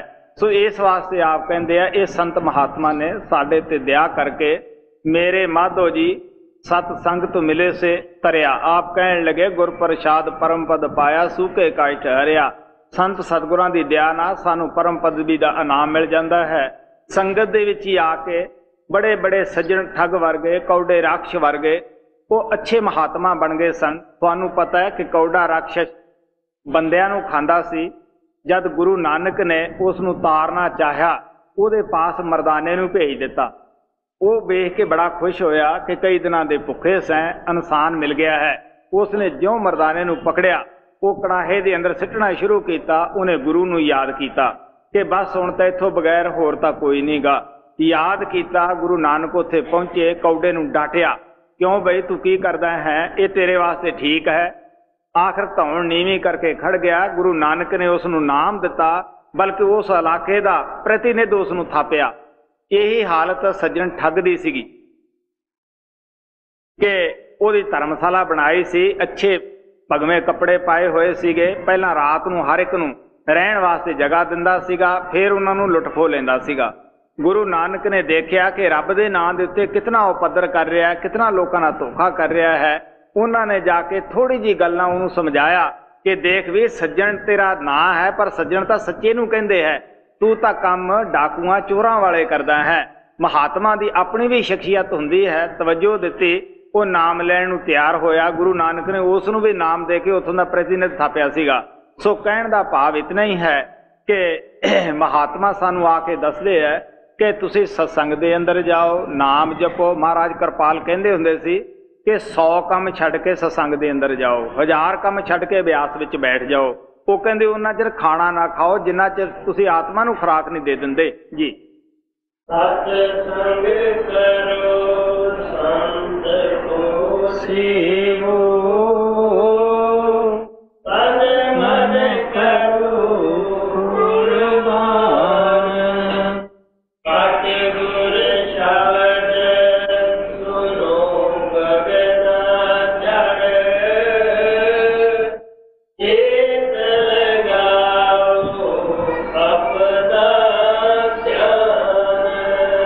ਹੁਣ ਆਪ ਕਹਿਣ ਲੱਗੇ ਕਿ ਨਾਮ ਮਿਲ ਗਿਆ, ਸਤਸੰਗ ਮਿਲ ਗਿਆ, ਹੁਣ ਕੀ ਕਰੋ? ਤੁਸੀਂ ਆਪਣੇ ਫੈਲੇ ਖਿਆਲ ਨੂੰ ਇਕੱਠਾ ਕਰੋ, ਤੀਸਰੇ ਤਿਲ ਤੇ ਇਕਾਗਰ ਕਰੋ ਔਰ ਆਪਣੇ ਧਿਆਨ ਨੂੰ ਤੁਸੀਂ ਉਸ ਮਨਮੋਹਣੀ ਮੂਰਤ ਸਤਿਗੁਰੂ ਦੇ ਨਾਲ ਜੋੜ ਦਿਓ, ਸ਼ਬਦ ਦੇ ਨਾਲ ਜੋੜ ਦਿਓ। ਜੀ।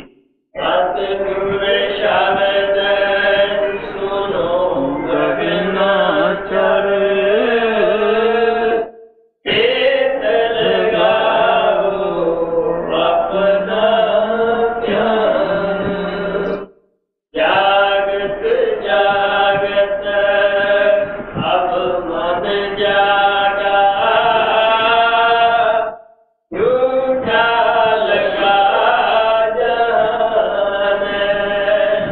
ਪਤਾ ਹੀ ਹੈ ਕਿ ਜਿਵੇਂ ਜਿਵੇਂ ਅਸੀਂ ਪਹਾੜ ਦੀ ਤਰਫ ਜਾਂਦੇ ਹਾਂ, ਮੈਦਾਨਾ, ਮੈਦਾਨ ਸਾਥੋਂ ਦੂਰ ਰਹਿੰਦੇ ਹੈ ਉਨੀ ਉਨੀ ਸਰਦੀ ਜ਼ਿਆਦਾ ਪੈਦਾ ਹੋ ਜਾਂਦੀ ਹੈ ਠੰਡ ਲੱਗਣੀ ਸ਼ੁਰੂ ਹੋ ਜਾਂਦੀ ਹੈ, ਗਰਮੀ ਤੋਂ ਅਸੀਂ ਬਚ ਜਾਂਦੇ ਹਾਂ।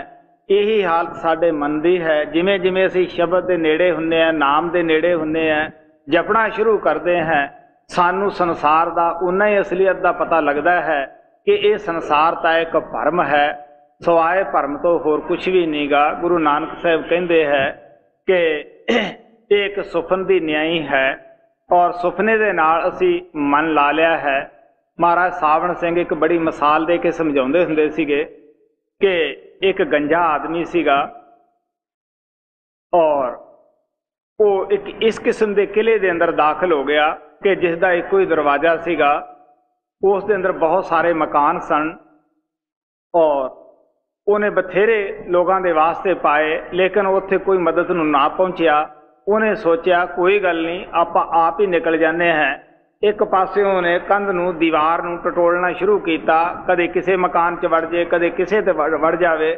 ਤੁਹਾਨੂੰ ਪਤਾ ਹੀ ਹੈ ਕਿ ਇਹਦੇ ਆਦਮੀ ਨੂੰ ਕਿਤਨੀਆਂ ਠੋਕਰਾਂ ਖਾਣੀਆਂ ਪੈਂਦੀਆਂ ਹੈ। ਆਖਰ ਜਦ ਦਰਵਾਜ਼ੇ ਦੇ ਪਾਸ ਆਇਆ, ਗੰਜੇ ਆਦਮੀ ਦੇ ਹਮੇਸ਼ਾ ਸਿਰ ਦੇ ਵਿੱਚ ਖਾਰਸ ਹੁੰਦੀ ਹੈ। ਉਹ ਉੱਥੇ ਆ ਕੇ ਜਿਹੜਾ ਦੀਵਾਰ ਦੇ ਨਾਲ ਹੱਥ ਸੀ ਉਸ ਨੂੰ ਛੱਡ ਦਿੱਤਾ। ਖਾਰਸ ਕਰਨ ਲੱਗ ਪਿਆ, ਖੁਰਕ ਕਰਨ ਲੱਗ ਪਿਆ, ਉਹ ਦਰਵਾਜ਼ਾ ਫੇਰ ਲੰਘ ਗਿਆ। ਫੇਰ ਉਸ ਨੂੰ ਉਹ ਚੱਕਰ ਪੈ ਗਿਆ। ਇਹ ਹਾਲਤ ਸਾਡੀ ਹੈ। ਅਸੀਂ 84 ਲੱਖ ਜੂਨਾਂ ਦੇ ਵਿੱਚ ਉਹ ਅੰਧੇ ਦੀ ਤਰ੍ਹਾਂ ਠੋਕਰਾਂ ਖਾਂਦੇ ਫਿਰਦੇ ਹੈ, ਡਿੱਗਦੇ ਹਾਂ ਪੈਨੇ ਹਾਂ, ਬੁਰੇ ਹਾਲ ਹੋਏ ਫਿਰਦੇ ਹਾਂ। ਜਦ ਇਨਸਾਨ ਦਾ ਜਾਮਾ ਆਉਂਦਾ ਹੈ, ਮਾਨੋ ਅਸੀਂ ਉਸ ਕਿਲੇ ਦੇ ਦਰਵਾਜ਼ੇ ਤੇ ਪਹੁੰਚ ਜਾਂਦੇ ਹੈ। ਫਿਰ ਸਾਨੂੰ ਖੁਰਕ ਕਿਹੜੀ ਹੁੰਦੀ ਹੈ? ਵਿਸ਼ੇ ਬਕਾਰਾਂ ਦੀ ਹੁੰਦੀ ਹੈ। ਦੁਨੀਆ ਦੇ ਸਮਾਨ ਦੀ ਹੁੰਦੀ ਹੈ, ਜੋ ਇਨਸਾਨੀ ਜਾਮਾ ਬਾਹਰ ਨਿਕਲਦਾ ਸੀਗਾ ਉਸ ਨੂੰ ਅਸੀਂ ਕੌਡੀਆਂ ਦੇ ਭਾਅ ਵੇਚ ਕੇ ਚਲੇ ਜਾਂਦੇ ਹੈ। ਸਾਨੂੰ ਜ਼ਿੰਦਗੀ ਦਾ ਮੁੱਲ ਮੌਤ ਤੋਂ ਬਾਅਦ ਪਤਾ ਲੱਗਦਾ ਹੈ ਕਿ ਜਦ ਜਾ ਕੇ ਨਰਕਾਂ ਦੇ ਦੁੱਖ ਸਹਿਣੇ ਪੈਂਦੇ ਹੈ, ਭੈੜੀਆਂ ਜੂਨਾਂ 'ਚ ਜਾਣਾ ਪੈਂਦਾ ਹੈ। ਫੇਰ ਅਸੀਂ ਪਛਤਾਉਨੇ ਹੈ ਰੋਨੇ ਹੈ ਕਿ ਉਹ ਅਗਰ ਭਜਨ ਬੰਦਗੀ ਇੰਨੀ ਹੀ ਚੰਗੀ ਸੀ, ਅਸੀਂ ਕਿਉਂ ਨਾ ਕਰ ਲਈ? ਸੋ ਮਹਾਤਮਾ ਕਹਿੰਦੇ ਆ, ਫੇਰ ਪਛਤਾਉਣ ਨਾਲ ਕੀ ਬਣਦਾ ਹੈ? ਜੀ। ਜਾਗਤ ਜਾਗਤ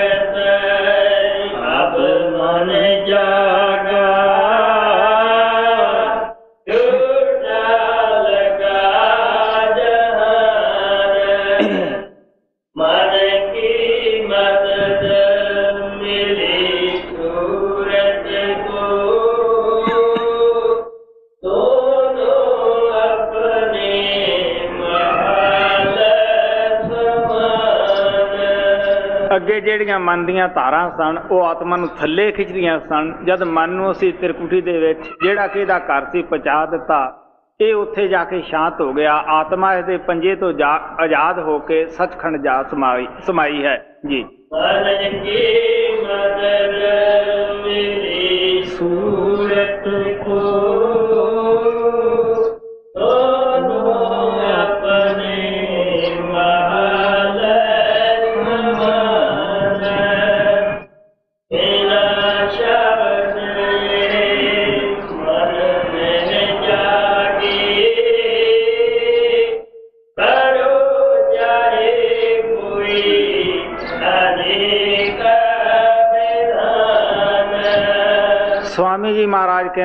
ਸਾਡਾ ਜਾਤੀ ਤਜਰਬਾ ਹੈ। ਜਿੰਨੇ ਮਰਜ਼ੀ ਤੁਸੀਂ ਹੋਰ ਉਪਾਅ ਕਰ ਲਓ, ਬਗੈਰ ਸ਼ਬਦੀ ਨਾਮ ਦੀ ਕਮਾਈ ਤੋਂ ਤੁਹਾਡਾ ਮਨ ਜਾਗਦਾ ਨਹੀਂਗਾ ਗੁਰੂ ਨਾਨਕ ਦੇਵ ਜੀ ਮਹਾਰਾਜ ਤੇ ਇੱਥੋਂ ਤੱਕ ਕਹਿੰਦੇ ਆ ਜਿਨਨੀ ਨਾਮ ਵਸਾਰਿਆ, ਕਾ ਕਰਮ ਕਮਾਵੇ ਹੋਰ, ਨਾਨਕ ਜੰਪੁਰ ਬੱਧੇ ਮਾਰੀਏ ਜੋ ਸੰਨੀ ਉੱਪਰ ਚੋਰ।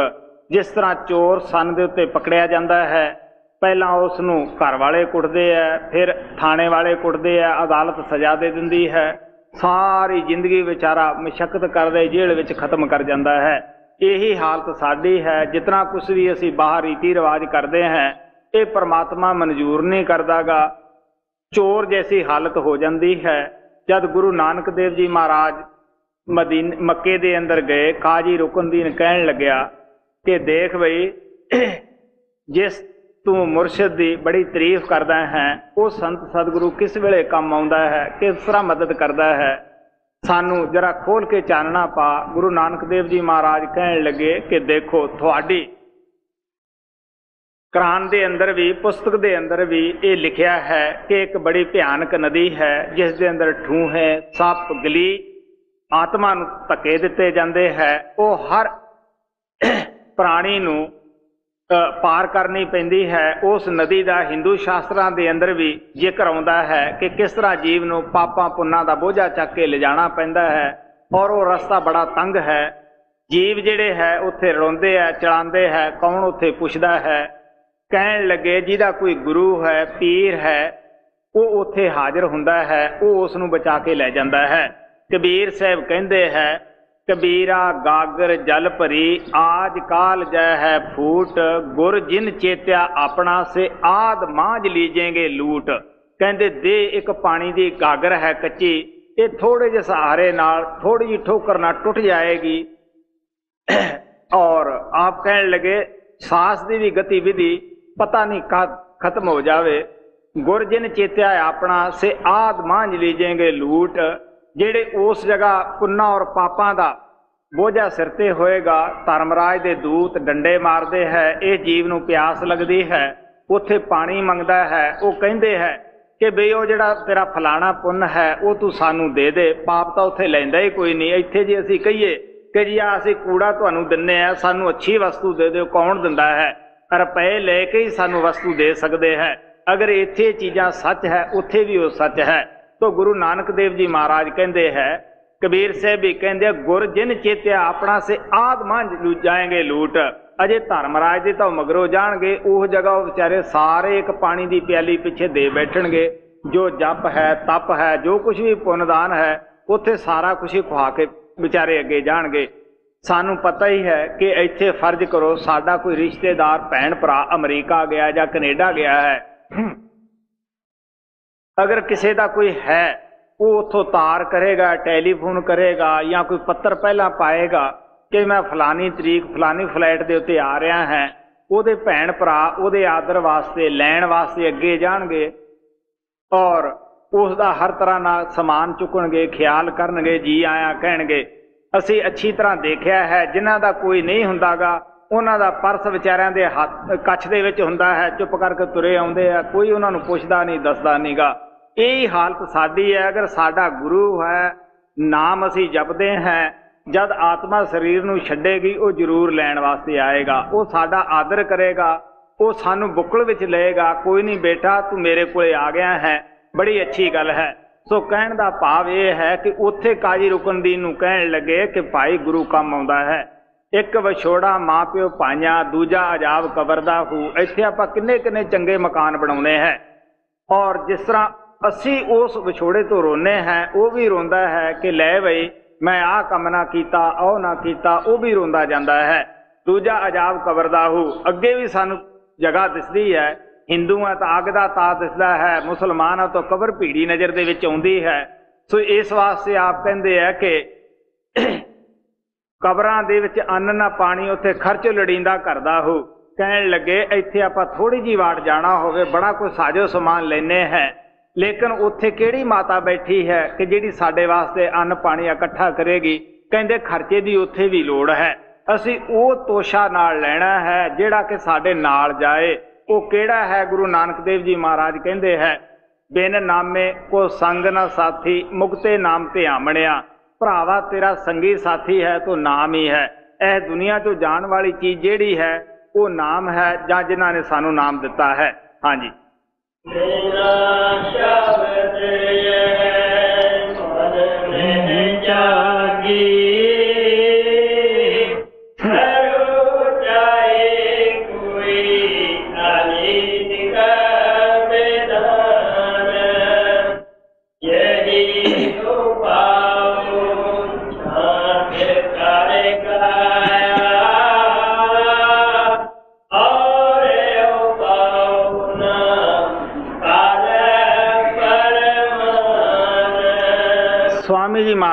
ਕਹਿੰਦੇ ਅਸੀਂ ਖੁਦ ਪ੍ਰੈਕਟੀਕਲ ਕੀਤਾ ਹੈ, ਸ਼ਬਦ ਨਾਮ ਦੀ ਕਮਾਈ ਤੋਂ ਬਗੈਰ ਅਸੀਂ ਪਰਮਾਤਮਾ ਨੂੰ ਪਾ ਨਹੀਂ ਸਕਦੇ, ਆਪਣੇ ਘਰੇ ਵਾਪਸ ਨਹੀਂ ਜਾ ਸਕਦੇ, ਹੋਰ ਅਸੀਂ ਪ੍ਰਮਾਣ ਦੇਣ ਵਾਸਤੇ ਤਿਆਰ ਹੀ ਨਹੀਂ ਗਏ ਜੀ। ਜੀ ਕੋ ਪਾ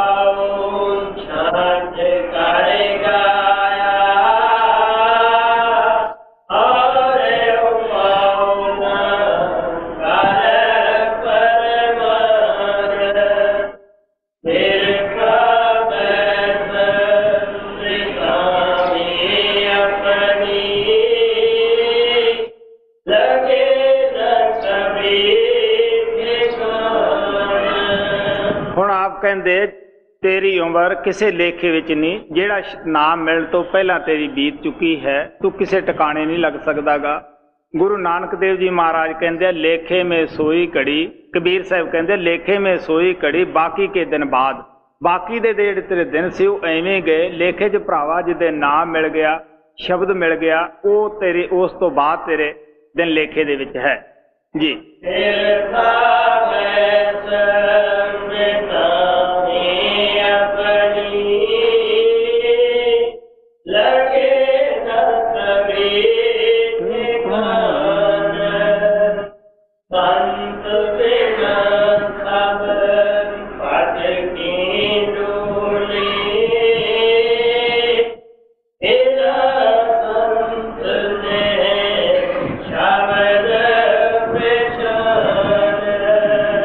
ਤੱਕ ਗੁਰੂ ਨਹੀਂ ਮਿਲਦਾ, ਨਾਮ ਨਹੀਂ ਮਿਲਦਾ, ਅਸੀਂ ਜਗ੍ਹਾ ਜਗ੍ਹਾ ਠੋਕਰਾਂ ਖਾਂਦੇ ਫਿਰਦੇ ਆਂ ਭਟਕਦੇ ਫਿਰਦੇ ਹਾਂ। ਤੁਸੀਂ ਦੇਖ ਲਓ, ਅਸੀਂ ਆਮ ਤੌਰ ਦੇ ਉੱਤੇ ਤੀਰਥਾਂ ਤੇ ਜਾਂਦੇ ਹਾਂ।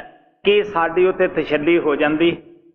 ਹਰਦੁਆਰ ਵਾਲੇ ਜਿਹੜੇ ਹੈ, ਉਹ ਸਾਡੇ ਰਾਜਸਥਾਨ ਕੁਲੈਤ ਦੇ ਵਿੱਚ ਜਾਂਦੇ ਆ ਕਲੈਤ ਵਾਲੇ ਇਧਰ ਹਰਦੁਆਰ ਨੂੰ ਆਉਂਦੇ ਆ ਤੁਸੀਂ ਖੁਦ ਹੀ ਸੋਚ ਕੇ ਦੇਖ ਲਓ, ਅਗਰ ਭਟਕਣਾ ਮਿਟੀ ਹੋਵੇ ਤਾਂ ਇੱਕ ਥਾਂ ਅਸੀਂ ਖੜ ਜਾਈਏ। ਤੋ ਆਪ ਕਹਿਣ ਲੱਗੇ, ਜਿੰਨਾ ਚਿਰ ਗੁਰੂ ਨਹੀਂ ਮਿਲਦਾ, ਨਾਮ ਨਹੀਂ ਮਿਲਦਾਗਾ ਸਾਡੇ ਮਨ ਦੀ ਭਟਕਣਾ ਖਤਮ ਹੀ ਨਹੀਂ ਹੋ ਸਕਦੀਗੀ। ਔਰ ਟਿਕਾਣੇ ਅਸੀਂ ਕਿਸ ਲੱਗਣਾ ਸੀਗਾ? ਜੀ।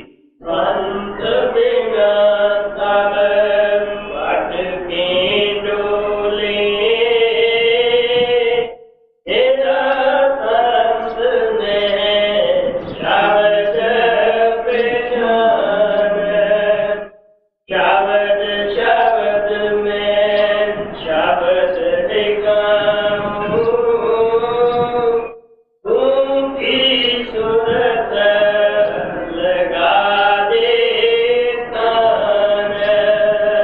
ਕਹਿਣ ਲੱਗੇ, ਮੈਂ ਜਿਸ ਸ਼ਬਦ ਦਾ ਜ਼ਿਕਰ ਕਰਦਾ ਹਾਂ, ਉਹ ਕੋਈ ਗਾਉਣ ਵਜਾਉਣ ਵਾਲਾ ਸ਼ਬਦ ਨਹੀਂ, ਲਿਖਣ ਪੜਨ ਵਾਲਾ ਸ਼ਬਦ ਨਹੀਂਗਾ ਉਹ ਤਾਂ ਬਿਨਾਂ ਲਿਖਿਆ ਕਾਨੂੰਨ ਹੈ, ਬਿਨਾਂ ਬੋਲੀ ਭਾਸ਼ਾ ਹੈ। ਉਹ ਹਿੰਦੀ 'ਚ ਨਹੀਂ ਲਿਖਿਆ ਜਾਂਦਾ, ਪੰਜਾਬੀ 'ਚ ਨਹੀਂ ਲਿਖਿਆ ਜਾਂਦਾ, ਸੰਸਕ੍ਰਿਤ ਦੇ ਵਿੱਚ ਨਹੀਂ ਲਿਖਿਆ ਜਾਂਦਾਗਾ ਮਹਾਰਾਜ ਸਾਵਣ ਸਿੰਘ ਕਹਿਣ ਲੱਗੇ ਕਿ ਅਗਰ ਜੇ ਉਹ ਲਿਖਿਆ ਜਾਣ ਵਾਲਾ ਹੁੰਦਾ, ਤਾਂ ਪੋਥੀਆਂ ਭਰੀਆਂ ਪਈਆਂ, ਗ੍ਰੰਥ ਭਰੇ ਪਏ ਹੈ। ਗੁਰੂਆਂ ਕੋਲੇ ਕਿਉਂ ਜਾਂਦੇ ਲੋਕ ਔਰ ਕਿਉਂ ਜਾ ਕੇ ਨਾਮ ਦੀ ਕਮਾਈ ਕਰਦੇ? ਤੁਸੀਂ ਦੇਖ ਲਓ 72 ਸਾਲ ਦੀ ਆਜੂ ਵਿੱਚ ਗੁਰੂ ਅਮਰਦੇਵ ਜੀ ਮਹਾਰਾਜ ਨੇ ਬੜੀ ਕਠਿਨ ਸਾਧਨਾ ਸਾਧੀ ਔਰ ਬੜੀ ਕਠਿਨ ਤਪੱਸਿਆ ਕੀਤੀ, ਗੁਰੂ ਦੀ ਜਾ ਕੇ ਸੇਵਾ ਕੀਤੀ 12 ਸਾਲ ਪਾਣੀ ਸਿਰ ਤੇ ਟੋਇਆ। ਅਗਰ ਜੇ ਪੋਥੀ ਦੇ ਵਿੱਚੋਂ ਲੈ ਕੇ ਕੋਈ ਲਫ਼ਜ਼ ਜਪਿਆ ਜਾ ਸਕਦਾ, ਉਹ ਇੰਨੀ ਘਾਲਣਾ ਕਿਉਂ ਘਾਲਦਾ? ਇਸ ਵਾਸਤੇ ਆਪ ਕਹਿੰਦੇ ਆ ਕਿ ਬਿਨ ਸਤਗੁਰ ਕੋਈ ਨਾਮ ਨਾ ਪਾਏ, ਪ੍ਰਭ ਐਸੀ ਬਣਤ ਬੜਾਈ ਹੈ। ਗੁਰੂ ਅਮਰਦੇਵ ਜੀ ਮਹਾਰਾਜ ਕਹਿੰਦੇ, ਪ੍ਰਮਾਤਮਾ ਨੇ ਇਹ ਆਪਣੇ ਮਿਲਣ ਦਾ ਇਹੀ ਤਰੀਕਾ ਰੱਖਿਆ ਹੈ ਕਿ ਬਗੈਰ ਪੂਰੇ ਸਤਿਗੁਰੂ ਤੋਂ ਨਾਮ ਨਹੀਂ ਮਿਲਦਾ, ਨਾਮ ਤੋਂ ਬਗੈਰ ਮੁਕਤੀ ਨਹੀਂ। ਜੀ। ਸ਼ਬਦ ਸ਼ਬਦ ਮੈਂ ਸ਼ਬਦ ਹੀ ਗਾਉਂ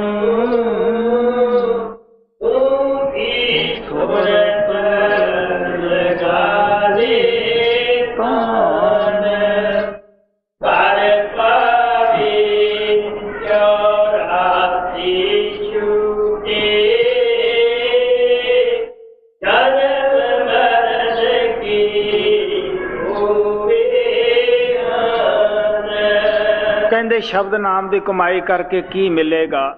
84 ਤੋਂ ਬਚ ਜਾਏਗਾ। ਜੋ ਰੋਜ਼ ਜੰਮਦਾ ਹੈ, ਮਰਦਾ ਹੈ, ਇੱਕ ਕਲਬੂਤ ਤੋਂ ਖਹਿੜਾ ਨਹੀਂ ਛਡਾਇਆ ਹੁੰਦਾ, ਦੂਜਾ ਅੱਗੇ ਘੜਿਆ ਪਿਆ ਹੁੰਦਾ ਉਹ ਚ ਵੜਦੇ ਮਗਰੋਂ ਹੈ।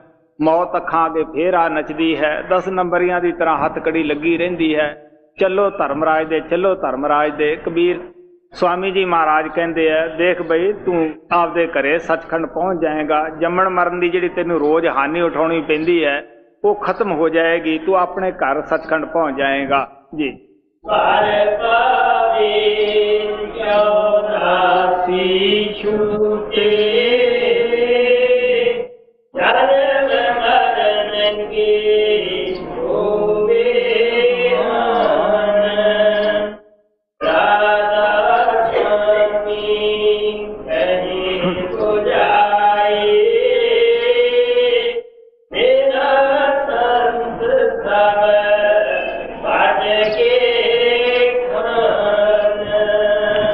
ਸਵਾਮੀ ਜੀ ਮਹਾਰਾਜ ਨੇ ਹਰ ਪਹਿਲੂ ਤੋਂ ਇਹ ਸ਼ਬਦ ਦੇ ਵਿੱਚ ਸਮਝਾਇਆ ਕਿ ਕਿਸ ਤਰ੍ਹਾਂ ਸਾਡਾ ਮਨ ਸੁੱਤਾ ਹੋਇਆ ਹੈ। ਅਸੀਂ ਦੁਨੀਆਦਾਰ ਲੋਕ ਮਨ ਨੂੰ ਜਗਾਉਣ ਦੇ ਬਾਹਰਮੁਖੀ ਸਾਧਨ ਕਰਦੇ ਹਾਂ।